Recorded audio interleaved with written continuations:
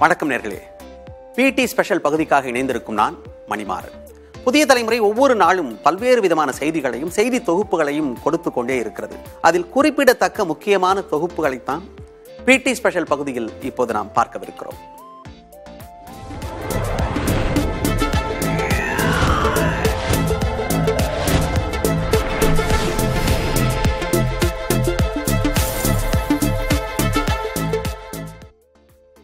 விண்வெளிக்கு முதன்முறையாக மனிதர்களை அனுப்பும் இந்தியாவின் பெருமை மிகு திட்டம்தான் ககன்யான். இரண்டாயிரத்தி இருபத்தி நான்கு இருபத்தைந்தில் செயல்பாட்டுக்கு வரும் இந்த திட்டத்தில் பங்கேற்கும் கேப்டன்களில் தமிழ்நாட்டைச் சேர்ந்த விண்வெளி வீரரும் இடம் பிடித்திருக்கிறார். இது குறித்த தொகுப்பை சற்று விரிவாக பார்க்கலாம்.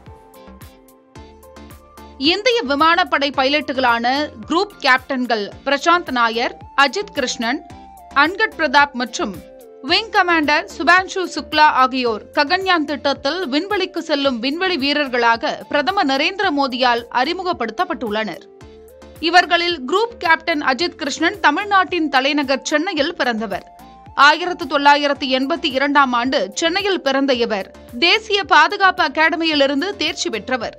விமானப்படை பயிற்சி அகாடமியில் சிறப்பாக செயல்பட்டதற்காக அந்த ஆண்டிற்கான குடியரசுத் தலைவரின் தங்க பதக்கம் மற்றும் மரியாதை வாள் ஆகியவற்றை பெற்ற சிறப்புக்குரியவர் Ajith Krishnan.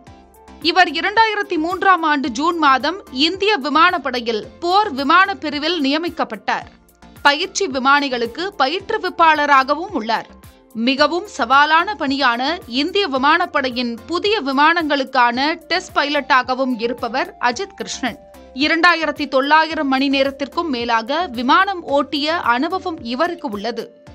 SU thirty MKI MiG twenty one MiG twenty nine Jaguar Dornier AN thirty two உள்ளிட்ட பல்வேறு விமானங்களை ஓட்டிய அனுபவம் வாய்ந்த பைலட்டான அஜித் கிருஷ்ணன் வெலிங்டனில் உள்ள பாதுகாப்பு பணியாளர்கள் சேவை கல்லூரியில் பயிற்சி பெற்றவர்.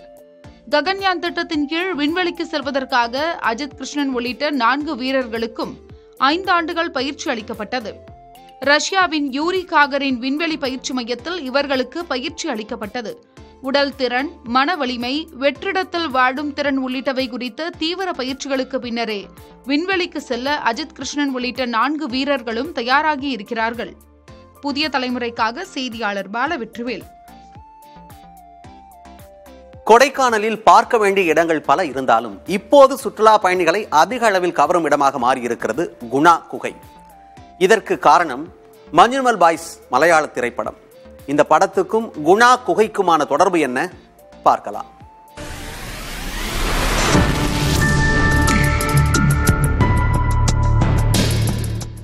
இதுதான் குணா குகை. எட்டி பார்த்தாலே கிறுகிறுப்பு உண்டாக்கும் ஆபத்தான பள்ளத்தாக்குகளுக்கு நடுவே பிரம்மாண்டமாய் வானுயர் அமைந்திருப்பதுதான் கொடைக்கானல் தூண்பாறைகள். தூண்களின் ஊடே ஆழமாக பல அடுக்குகளை கொண்ட பிரம்மாண்ட குகைகளாக பள்ளத்தில் போய்க்கொண்டே இருப்பதுதான் இதன் ஆபத்தான அழகு.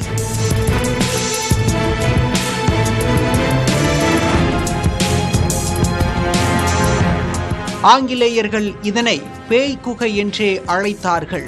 ஆங்கிலேயர் ஆட்சி காலத்தில் அந்த குகைக்கு சாகச பயணம் செய்த அவர்கள் அங்கே தங்கி சமைத்த காரணத்தால் டெவில்ஸ் கிச்சன் என்று அழைக்கப்பட்டது. குணா படத்திற்கு பின்பு இதன் பெயர் குணா குகை என்றானது.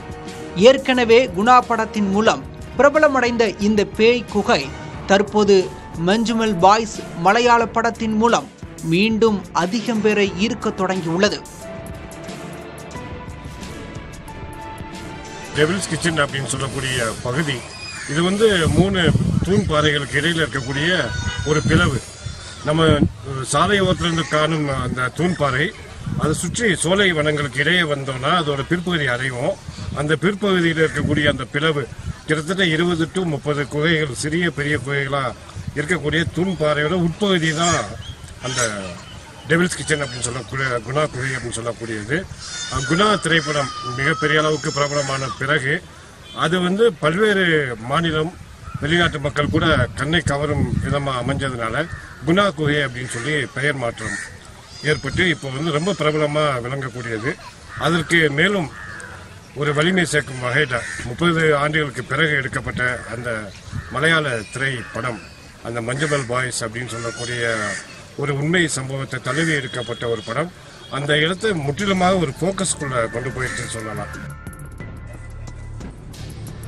குகைக்கு செல்லும் மண் பாதையில் புதர்களாகவும் புற்கள் போலவும் கண்களுக்கு தெரியாமல் மறைந்துள்ள ஆழமான பொந்துகளை பயணிகள் அறியாமல் அதற்குள் தவறி விழுந்து உயிர்விட்டும் குகைக்குள் இறங்க முற்படும் போது சரிவில் சறுக்கி குகையின் முடிவறியாத பள்ளத்திற்குள் விழுந்தும் கடந்த காலங்களில் உயிரிழப்புகள் நேர்ந்திருக்கின்றன. தெரிஞ்சு மேக்சிமம் வந்து ஒரு இருபத்தஞ்சு முப்பது பேர் ஆனால் அப்பெல்லாம் பாடியே கண்டுபிடிக்க முடியாது. இப்போ அப்படியெல்லாம் இல்லை. எங்கே போனாலும் எல்லாமே ஃபாரஸ்ட் டிபார்ட்மெண்ட் போலீஸ் டிபார்ட்மெண்ட் எல்லாமே கரெக்டாக போய் கரெக்டாக எடுத்து எல்லாமே இது பண்ணிடுறாங்க.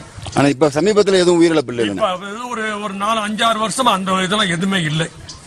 அந்த கேமரா வந்ததுக்கு அப்புறம் அது வந்த அப்புறம் எதுவுமே அந்த இதெல்லாம் ஒரு பத்து வருஷத்துக்கு அப்புறம் ஒரு ஏழு எட்டு வருஷத்துக்கு அப்புறம் எதுவுமே இல்லை. ஃபுல் சேஃப்டி எல்லாம். குணா குகைக்குள் செல்ல முடியாவிட்டாலும் அதன் முகப்பு பகுதி வரை சென்று காணும் அளவிற்கு வனத்துறை வசதிகளை ஏற்படுத்தி குகைக்குள் விளக்குகள் அமைத்து வனத்துறையே பயணிகளை பாதுகாப்பாக அழைத்துச் செல்லும் நடைமுறைகளை எதிர்காலத்தில் செய்ய வேண்டும் என்பது சுற்றுலா ஆர்வலர்களின் நீண்டகால கோரிக்கையாக உள்ளது. குணா பகம் குணாவோட கமலஹாசனோட குணா படம் எடுக்கும் பொழுது அந்த அந்த குகை வந்து ஃபுல்லாக பிரபலமாச்சு. எல்லாமே அந்த குகையை பார்க்கறதுக்கு படையெடுத்து வந்தாங்க. அந்த நேரங்களில் சில நேரங்களில் வந்து தவறி விழுந்தும் நிறைய பேர் இறந்து போயிருக்காங்க. அவங்க பாடி கிடைச்சது கிடையாது. அது அதனால அரசு என்ன செஞ்சாங்கன்னா அந்த இடங்களை உளுந்த இடங்களை பொந்துகளை பூரா மறைச்சு அதை யாரும் உள்ளே போகாத அளவுக்கு அதை சுற்றி லாக் பண்ணிட்டாங்க. அதனால இப்போதைக்கு யாரும் குணா கோயிலுக்குள்ளே யாரும் இறங்கி பார்க்க முடியாத சூழ்நிலை இருக்குது இருந்தாலும் இப்போ தற்சமே என்ன சொல்கிறோம்னா வரக்கூடிய சுற்றுலா பயணிகளுக்கு மனத்துறை வனத்துறை டிக்கெட்லாம் வாங்குறாங்க. ஆனால் குணா கோவையை பார்க்க முடியாத சூழ்நிலை இருக்குது முகப்பனாச்சு பார்க்குற அளவுக்கு ஒரு பாதுகாப்பு ஏற்பாடு செய்து அதை பார்வையிடுறதுக்கு ஆவணம் செய்ய வேண்டும். வனத்துறை. குணா குகையை நோக்கி ஏராளமான சுற்றுலா பயணிகள் வரும் நிலையில் அங்கு செய்யப்பட்டுள்ள பாதுகாப்பு குறித்து வனச்சரகர் செந்திலிடம் கேட்டபோது அங்கு சூழல் காப்பாளர்கள் உதவியுடன் சுற்றுலா பயணிகளின் பாதுகாப்பு உறுதி செய்யப்படுவதாக தெரிவித்தார். புதிய தலைமுறைக்காக கொடைக்கானலில் இருந்து செய்தியாளர் செல்வ மகேஷ் ராஜா.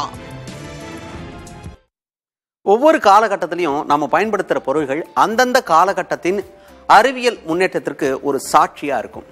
அப்படி பல்வேறு காலகட்டத்தில் பயன்படுத்தப்பட்ட பொருள்கள் அருங்காட்சியகம் ஒன்று சிவகங்கை மாவட்டம் பிள்ளையார்பட்டியில் இப்போவும் செயல்பட்டுட்டு வருது. அதை பற்றி தான் இப்போ நம்ம விரிவாக பார்க்க போகிறோம்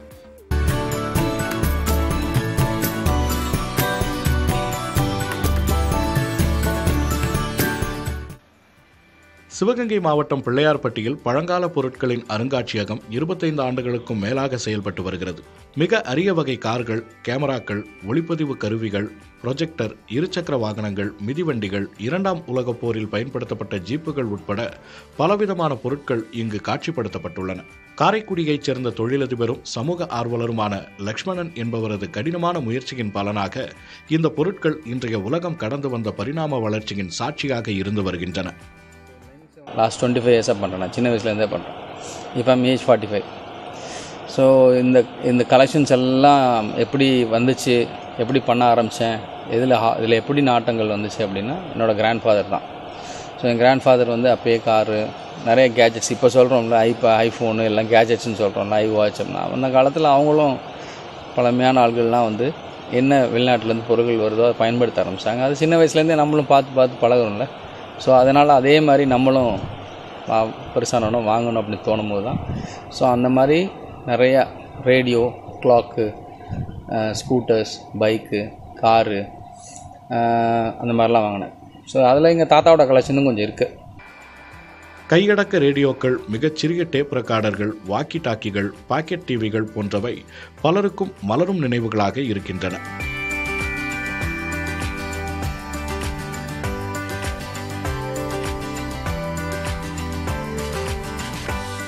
ஹாங்காங் நாட்டு தயாரிப்பான கைவினை விளக்குகள் பழமையான தொலைபேசிகள் பைனாகுலர்கள் இங்கிலாந்து நாட்டு சாவி கொடுத்து செயல்படக்கூடிய குழந்தைகள் விளையாட்டு சாதனங்கள் ஜப்பான் நாட்டு விளையாட்டு சாதனங்கள் கேமரா உதிரி பாகங்கள் கிராமபோன்கள் ஒலிபெருக்கிகள் ஒளிப்பதிவு கருவிகள் திரைப்பட ஒளிபரப்பு கருவிகள் போன்றவையும் காட்சிப்படுத்தப்பட்டுள்ளன.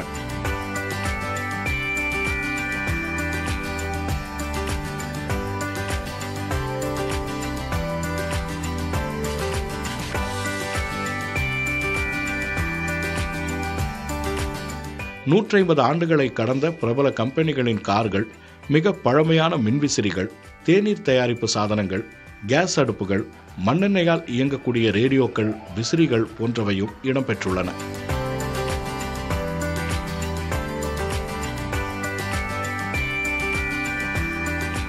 விதவிதமான சைக்கிள்கள் மொப்பட்டுகள் ஸ்கூட்டர்கள் சிறுவர்கள் பயன்படுத்தும் சிறிய ரக கார் வகைகள் இங்கு வைக்கப்பட்டுள்ளன. ஆயிரத்து தொள்ளாயிரத்து இருபதாம் ஆண்டு இங்கிலாந்து நாட்டில் தயாரிக்கப்பட்ட தமிழ் தட்டச்சு இயந்திரம் இங்கு வைக்கப்பட்டுள்ளது. புதிய தலைமுறைக்காக ஒளிப்பதிவாளர் குமரனுடன் திருப்பத்தூர் செய்தியாளர் நைனா முகமது.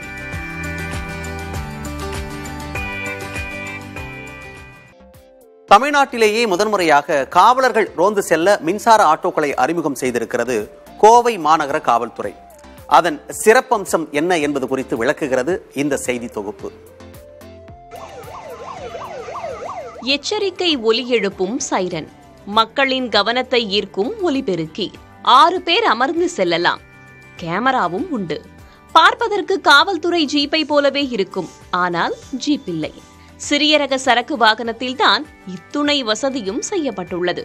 காவல்துறையினர் ரோந்து செல்ல வசதியாக தமிழ்நாட்டிலேயே முதல் முறையாக சிறிய சரக்கு ரக வாகனத்தை ரோந்து வாகனமாக மாற்றி பயன்பாட்டிற்கு கொண்டு வந்துள்ளது கோவை மாநகர காவல்துறை. நான்கு சக்கர வாகனங்கள். இருசக்கர வாகனங்களை தொடர்ந்து புதிய முயற்சியாக சிறிய சரக்கு ரக வாகனம் ரோந்து வாகனமாக மாற்றப்பட்டுள்ளது. இது முழுவதுமாக மின்சாரத்தால் இயங்கும் என்பது இதன் கூடுதல் சிறப்பு. நிறத்தில் தொடங்கி இருக்கை வரை அனைத்தும் காவல்துறைக்கு ஏற்ற வகையில் மாற்றியமைக்கப்பட்டுள்ளது. எல்லாமே இருக்குங்க. பிஏ சிஸ்டம் இருக்குது சைரன் இருக்குது ரிவர்ஸ் கேமரா இருக்குது உள்ளுக்குள்ளே பார்த்தீங்கன்னா இந்த ஃபயர் எக்ஸ்டிங்விஷர்ஸ் வச்சுருக்குறோம். அப்போ அந்த இன்ஸ்ட்ரக்ஷன்ஸ் கொடுக்குறது அப்படின்னா நம்ம கையில் அந்த பிஏ சிஸ்டம் எடுத்து பேசலாம். ஸோ மழை பேஞ்சால் ஒழுகக்கூடாது. அதே சமயம் டாப்பை ரோல் பண்ணுற மாதிரி இருக்கணும். ரோல் பண்ணுற இடத்துல எங்கேயுமே வந்து கிளியக்கூடாது. அதுக்காக நல்ல குவாலிட்டி தார்போலின் போட்டிருக்கிறோம். முதற்கட்டமாக நவீன முறையில் வடிவமைக்கப்பட்டுள்ள ஐந்து ரோந்து வாகனத்தை கோவை மாநகர காவல் ஆணையர் பாலகிருஷ்ணன் பயன்பாட்டிற்கு கொண்டு வந்துள்ளார். அன்றாட வாழ்க்கையில் பல்வேறு வகையில் பயன்படும் சரக்கு வாகனத்தை காவல்துறை ரோந்து வாகனமாக மாற்றியிருப்பது மக்கள் மத்தியில் பாராட்டை பெற்றுள்ளது. தகவல் தொழில்நுட்ப வளர்ச்சிக்கு ஏற்ப ஒவ்வொரு துறையினரும் தங்களை தகவமைத்துக் கொண்டிருக்கும் சூழலில் ஆட்டோமொபைல் தொழில்நுட்பத்தில் ஏற்பட்டுள்ள வளர்ச்சிக்கு ஏற்ப மாநகர காவல்துறையினர் தங்களை எலக்ட்ரிக் வாகனங்கள் மூலம் தகவமைத்துக் கொண்டிருப்பது ஒரு நல்ல முயற்சியாகவே பார்க்கப்படுகிறது. புதிய தலைமுறைக்காக கோவையிலிருந்து ஒளிப்பதிவாளர் முத்துப்பாண்டியுடன் பிரவீன். மேலும் பல்வேறு விதமான சிறப்பு செய்தி தொகுப்புகளோடு மீண்டும் உங்களை சந்திக்கிறோம். தொடர்ந்து பாருங்கள் புதிய தலைமுறை.